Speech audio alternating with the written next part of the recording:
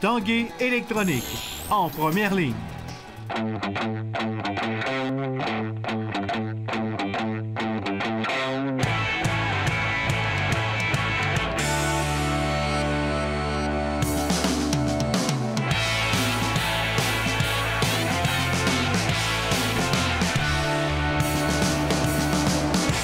Salut, ici Jonathan Fournier, bienvenue à l'Esprit sportif. Aujourd'hui à l'émission, on vous parle de boxe, on vous parle du club de tennis de l'Université Laval. Mais tout d'abord, revenons sur l'événement qui se tenait hier soir ici même au Centre Vidéotron. La Ligue canadienne de hockey présentait son match des espoirs, donc les meilleurs joueurs juniors de la Ligue de l'Ouest, de la Ligue de l'Ontario et de la Ligue junior majeure du Québec y étaient. Voici un résumé de l'action. Simon Gagné et Guy Chouinard remplacent Don Cherry et Bobby Hoare derrière le banc, mais les deux équipes se nomment quand même Cherry et Orr. Cette rencontre oppose Nolan Patrick à Nico Ishier, les deux meilleurs espoirs nord-américains pour le prochain repêchage de la LNH. Mais il y a d'autres joueurs de talent. Sacha Chmielewski protège bien la rondelle devant Artem Milunin et sert ensuite une feinte pour toucher la cible. L'équipe Orr fait 1-1. Ce match met en scène quelques bons Québécois, dont Antoine Morin, le joueur du Titan d'Acadie Batters, qui saisit un retour et fait 2-1 pour l'équipe Cherry. Mais l'équipe dirigée par Chouinard réplique Cody Glass sert une superbe passe à Michael Rasmussen, c'est 2-2. Revenons à Ishier, l'attaquant des Mooseheads d'Halifax fait parler de lui pour une première fois. Il est alimenté par Keller Yamoto, mais Ishier touche le poteau devant un filet béant. Patrick ne fait guère mieux, il commet un revirement et le jeu se poursuit. Gaïev laisse du revers sur le tir pour Ischier. Pincel, Ischier, la fin du but! Nico Ischier! L'équipe Orr prend les devants. C'est 3 à 2. Mais Patrick se reprend, il sert une passe à Owen Tippett, ce dernier tire, mais le meilleur espoir québécois Maxime Comtois prend le retour. L'équipe Cherry est de retour en avant, 4 à 3. Prend les devants son tour. On a finalement droit au duel Patrick-Ishier, tant attendu. Le joueur des Mooseheads remet à Yamoto, qui décoche un tir précis. L'équipe Orr ramène le pointage à égalité. C'est 4-4, bon spectacle au centre Vidéotron. Malgré le score, tous les moyens sont bons pour les gardiens afin de s'illustrer. Michael Di Pietro vole un but à Adam Rudzica. Et pour ceux qui se posaient la question, aucun lien de parenté avec Rick Di Pietro. Chose certaine, Patrick est un bon fabricant de jeu. Il repart Tippett qui fait 6-4 Cherry. Ça se termine 7 à 5 au centre Vidéotron. Les 12 buts égalent le record de match des meilleurs espoirs. Les représentants de la Ligue de hockey junior majeur du Québec étaient peu nombreux, 6 sur 40. Par contre, ils ont tous connu, ou à peu près tous connu, de bons matchs dans la rencontre des meilleurs espoirs. Shawan Williams, de cette année. Ah, c'est le fun. Euh, je pense que ça faisait quand même longtemps que l'équipe Cherry n'avait pas gagné. Fait que, euh, tu sais, on est arrivé, on, a- on voulait gagner pour, euh, pour l'équipe, et ça bien, ça bien à donner. là.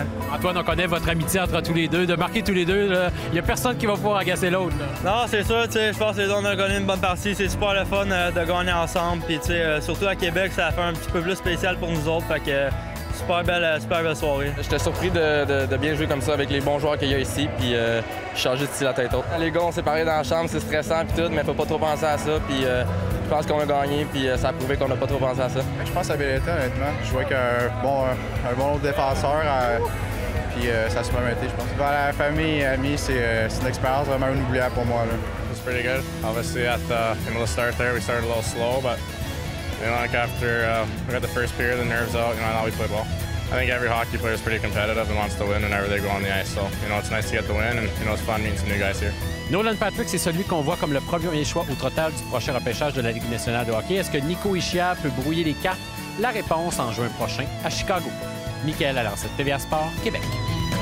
Le prochain gala de boxe qui se tiendra ici même au Centre Vidéotron est le 24 février prochain. Alvarez contre Boutet, mais également un combattant de Québec y sera en action, Éric Martel Baoeli. Et on a appris dans les derniers jours qu'il se battra en combat de championnat du monde de la WBU. Nous sommes allés le rencontrer à l'entraînement. Le champion du Conseil canadien de la boxe, Éric Martel.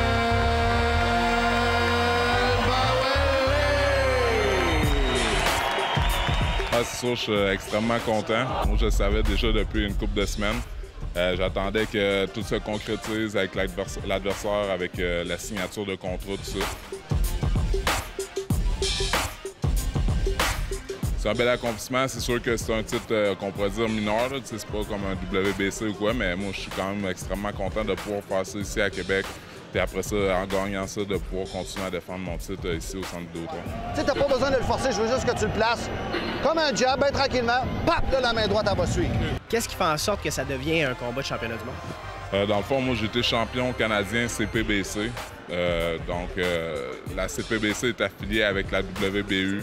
Je regarde un peu les adversaires que j'ai eus. puis, dans le fond, eux autres, ils trouvaient aussi que j'avais une belle implication sociale, tout ça. Fait que eux autres, ça, leur donne, en, en, devenant champion, eux autres, ça leur donne une belle visibilité. Fait qu'en plus que là, avec le printemps groupe Montmichel, fait que eux autres, ils n'ont pas hésité à me mettre comme étant inspirant. Puis là, le titre était vacant, donc j'ai eu la, la chance pour me battre en championnat du monde. De ce qu'on connaît de ton prochain adversaire. Euh, comment il boxe? Euh, c'est un gars euh, qui a joué dans la CFL. C'est un ancien joueur de football. Un gars qui est gros, 6 pieds 4, au moins 250, 260 facile, en bonne shape. avant, il était un petit peu plus quand il jouait au football. Mais malheureusement aussi, il y a eu, il y a eu des petits contretemps. Je pense que c'était de la prison, 4 ans de prison. Donc, en tout cas, euh, c'est sûr que bon, c'est un adversaire que je prends au sérieux. Un petit peu moins d'expérience de boxe que moi, mais quand même, c'est un gars qui cogne dur. Ouais. Oh, wow! On a eu plusieurs adversaires qui étaient en lice. Euh, il était déjà engagé dans d'autres combats sérieux, fait a cherché un peu partout au Canada pour savoir qui pouvait affronter Eric. On a trouvé que, Adam Braidwood était un euh, format, format géant pour Eric, un gars qui paraît bien, un ancien joueur de football des Eskimos d'Edmonton, un gars solide dans ces six victoires, cinq knockouts, je pense que c'est un bon défi pour Eric. Je suis en super forme euh, déjà à ce moment-ci, à un mois du combat. Euh, il me reste encore des petits ajustements, c'est sûr. Encore un bon deux semaines de, gros training. Après ça, on va commencer à diminuer. Mais je suis extrêmement satisfait. Euh, ma forme est bonne, j'ai une bonne équipe.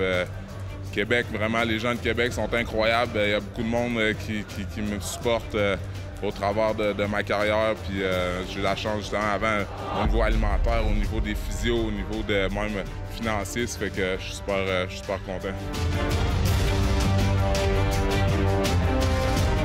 Que ça va donner un gros boost à Québec. Euh, je dis pas que le combat d'Alvarez est bouté et pas vendeur. C'est un combat qui est très vendeur aussi. Par contre, si on rajoute le fait d'un championnat du monde avec un gars de la place comme Éric Martel, les ventes de billets vont exploser. J'espère que les gens de Québec vont redonner à Eric ce que lui a donné à la communauté.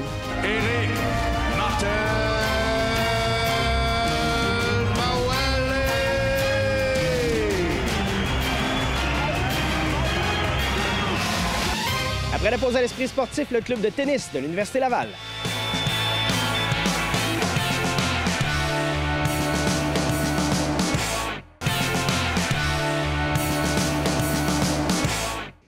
Le club de tennis de l'Université Laval en est à sa troisième année d'existence. Il recevait en fin de semaine au Club Avantage les champions provinciaux en titre, les Carabins de l'Université Montréal. Voici un résumé de leur saison du côté masculin et féminin.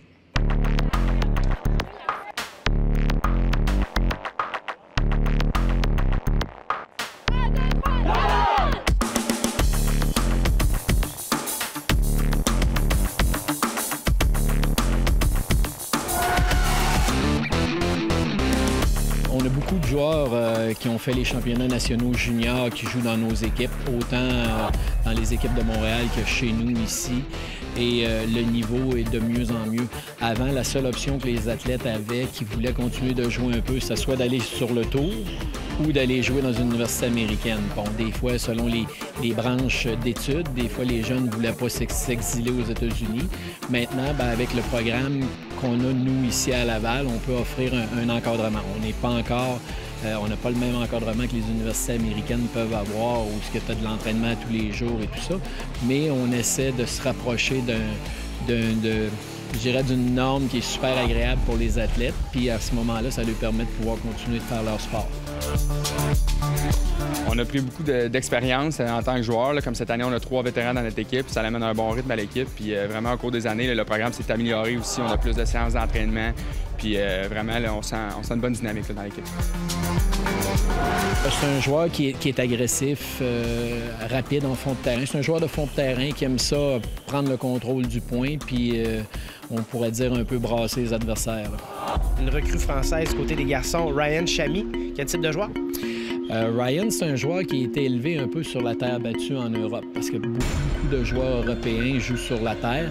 Il y a une adaptation à faire en venir jouer à l'intérieur où on a des surfaces un peu plus rapides puis un système de jeu un petit peu plus rapide. Mais euh, c'est un bon athlète, c'est un grand gars, sert fort. euh, Ça change de la France. Pour tout vous dire, au début, je connaissais pas vraiment cette équipe, puis on a, on on a parlé. Du coup, je suis arrivé, j'ai fait le camp de sélection. Puis j'ai eu la chance d'être pris. Et c'est vraiment une grande joie de pouvoir faire partie de cette équipe. Et dernière saison du côté de Annie-Pierre Lessard. Bon, Annie Pierre, c'est c'est, euh, c'est- c'est notre, notre vétéran chez les filles. euh, euh, c'est notre capitaine d'équipe aussi. Elle a, euh, Annie Pierre, à chaque fois que tu l'embarques sur le terrain, tu es sûr d'avoir une guerre. Parce qu'elle elle- laisse jamais aller un point et peu importe qu'elle soit en train de gagner, en train de perdre, tu sais exactement à quoi t'attendre quand Pierre est sur le terrain. C'est ma quatrième année, puis depuis les quatre ans, c'est la meilleure équipe que j'ai vue jusqu'à présent. là. beaucoup de profondeur dans l'équipe, beaucoup de nouvelles recrues aussi qui sont excellentes. Quelle serait l'une des forces de l'équipe féminine cette année? Euh, ben, je dirais qu'on a un- tout le monde est comme égal, tout le monde s'entend bien, on a un bon, euh, un bon- une bonne profondeur dans l'alignement, donc tout le monde est quand même égal, on s'entend super bien, puis euh, on a un bon esprit d'équipe, vraiment beaucoup. Jasmine, ben, gros début de saison jusqu'à maintenant. Jasmine, elle avait était un petit peu sur un retour. Elle était dans nos programmes sport-études il y a quelques années. Là, elle fait un petit peu un retour. Puis jusqu'à maintenant, elle a gagné ses deux premières rencontres. Ça fait que tout va bien de son côté. Les objectifs du club cette année? Ben, cette année, c'est encore participer au championnat canadien. Euh, on le fait la première année chez les gars. Chez les filles, on n'a pas réussi à l'atteindre encore. L'an passé, chez les gars, on a perdu sur le, en demi-finale. C'était le, match pour nous qualifier. On a perdu sur le dernier match contre McGill. Donc, euh, c'était à 3-3 dans les matchs. On a perdu le dernier point sur le dernier match. Et cette année, ben, c'est certain qu'on veut retourner au championnat canadien, autant chez les gars que chez les filles. Ce qu'on veut là, c'est vraiment tous s'améliorer et apprendre à jouer ensemble pour ce qui est du double. Et vraiment après sur le plan personnel, euh, régler les derniers détails pour arriver en forme pour les championnats québécois. Et après pouvoir se qualifier pour les championnats canadiens. On vous souhaite bonne saison, merci. Merci beaucoup.